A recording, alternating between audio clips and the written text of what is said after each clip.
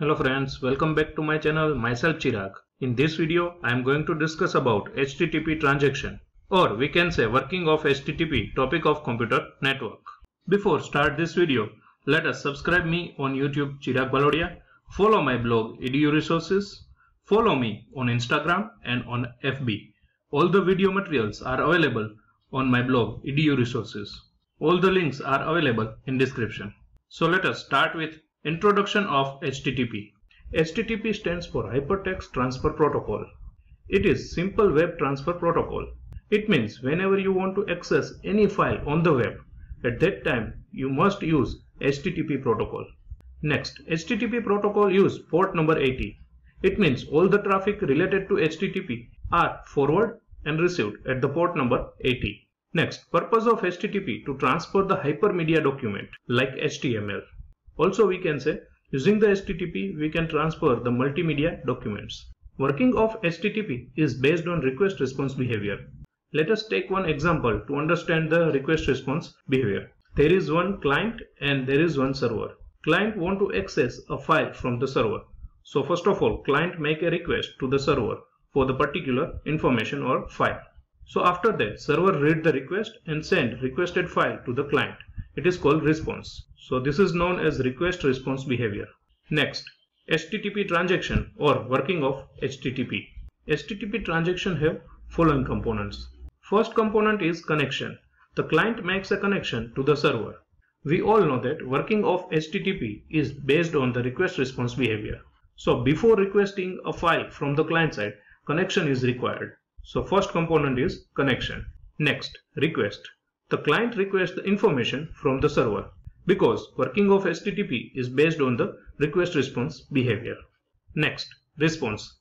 Client send a request to the server. After that request, server will provide the information to the client using the response. Sometimes server will refuse to provide the information. Next, close. Whenever client receive the information as per his requirement, after that both the parties terminate the connection. It is called close the connection. Now all the components are discussed one by one in detail.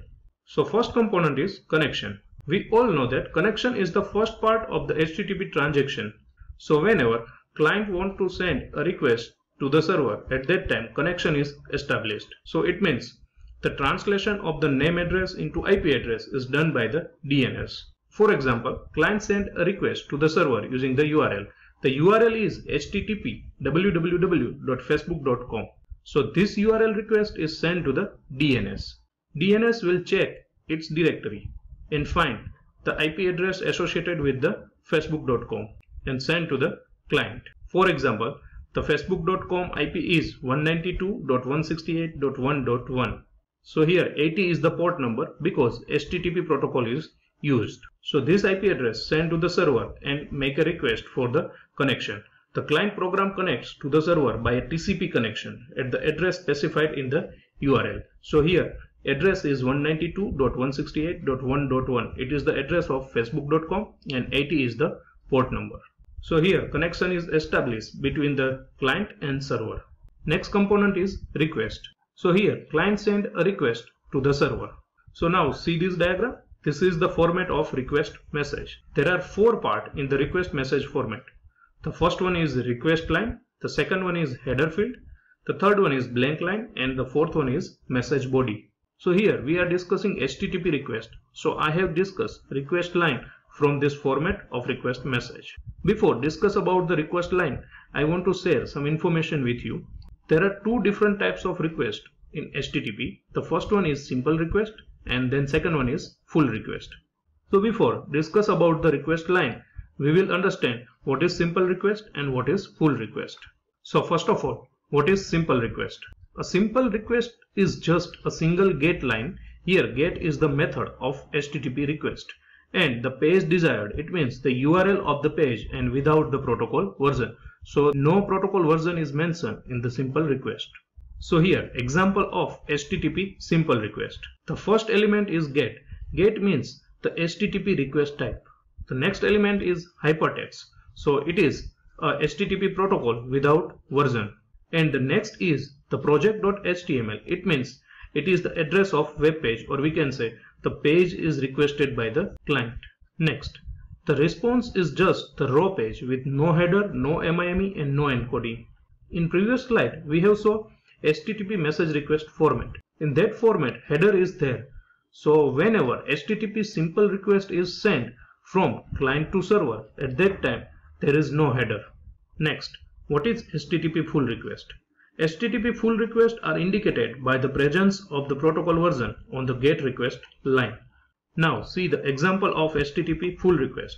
So based on the definition of HTTP full request, the protocol version is included inside the GET request line. Here protocol version is 1.1. Next, the first word on the full request line is simply the name of method. Now see over here it is the GET to be executed on the web page. So in this example, the first part is GET. So it is the HTTP request type. Also, the full request contain the page desired and the protocol version. Now see in this example, home.html, it is the address of web page and HTTP 1.1, it is the version of HTTP protocol. So here, the difference between the simple request and full request is that the HTTP version is not available in the simple request and HTTP version is available in the full request. Here HTTP request type GET is case sensitive, so it will be written only in capital letters. Next, request line. Request line is the first field of the format of request message. Request line contains the following things. The first one is the request type, the second one is resources and the third one is HTTP version. So let us take one example to understand the request line. So this is the example.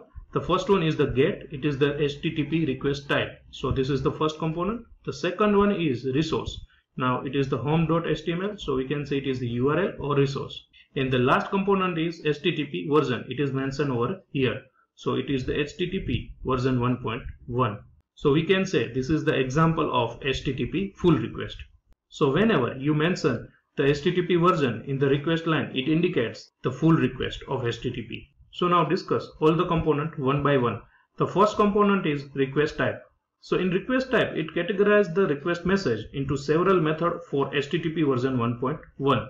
So the methods like that get, post, delete, put, copy, move, link or unlink. So there are number of methods are available in the full request type. In simple request, there are get, post and head method are used. The next component is resource. Here resource means the URL. So URL is used to access the information from the internet. So let us take one example to understand the URL. So this is the example of URL http www.facebook.com slash home.html. So now discuss the component of URL. The first component is HTTP. So it is the protocol. The next is www. It is the subdomain. Next one is Facebook. It is the domain name and the next is .com so it is the top level domain and the last one is home.html it is the file path so here home.html file is located in the facebook.com server but whenever client send a request using the url but server cannot read the url because server just read the ip address so before sending the url request to the server it is convert into the ip address so here www.facebook.com ip address is for example, 192.168.1.1. Here 80 is the port number because HTTP protocol is the used and the file home.html. Next, the URL defines the four things. The first one is the method, here HTTP. The second one is the host, so this is the host IP address. And the third one is the port. Port number 80 is used because HTTP protocol. And the fourth one is the path of the file, so it is home.html. So now we can define the URL in these four parts. The first one is protocol, then host IP address, then the port number of the protocol and the path of the file. Next component is HTTP version.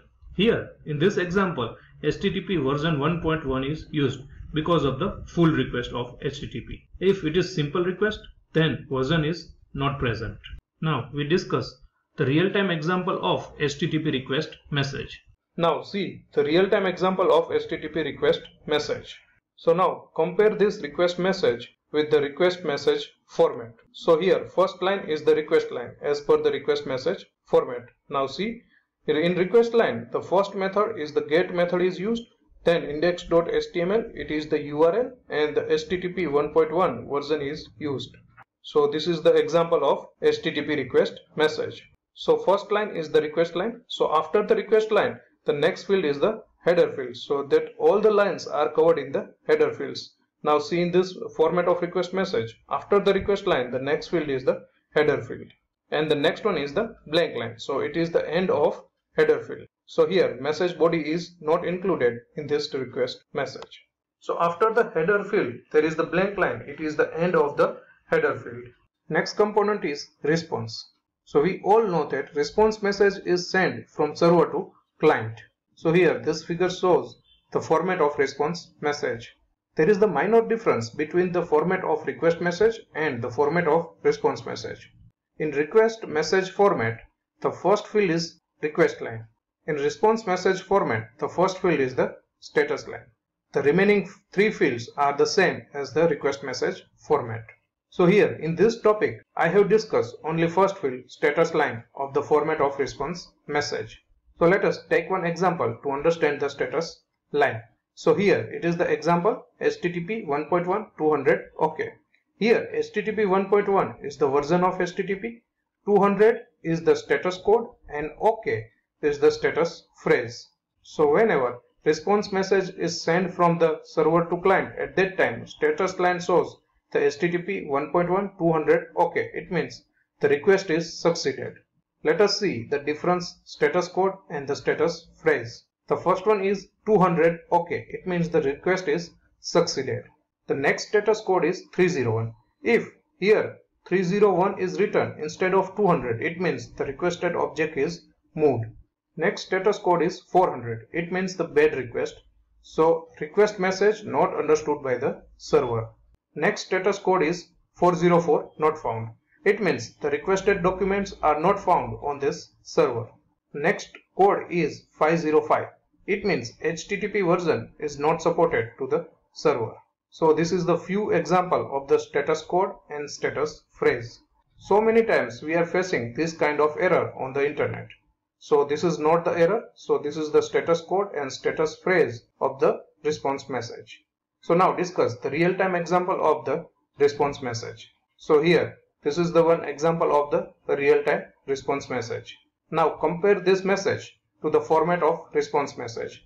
The first line shows the status line. It means the HTTP version 1.1, 200, it is the status code and this is the OK, it is the status phrase. The first line shows the status line of the HTTP response message. From second line onwards, it shows the header lines. So it indicates the header field. And the last one is the HTML file. So it is called the message body. The next component is close. So after request response and all the required information are received to the client side, then both the parties terminate the connection or close the connection. So after the client and server have exchanged the information by sending request and responses, both parties may end the transaction by closing the connection. So here close the connection using the terminating TCP connection method. If you have any query regarding HTTP transaction, you can ask me in comment section. If you like this video, please share with others and hit the like button. Thank you for watching this video.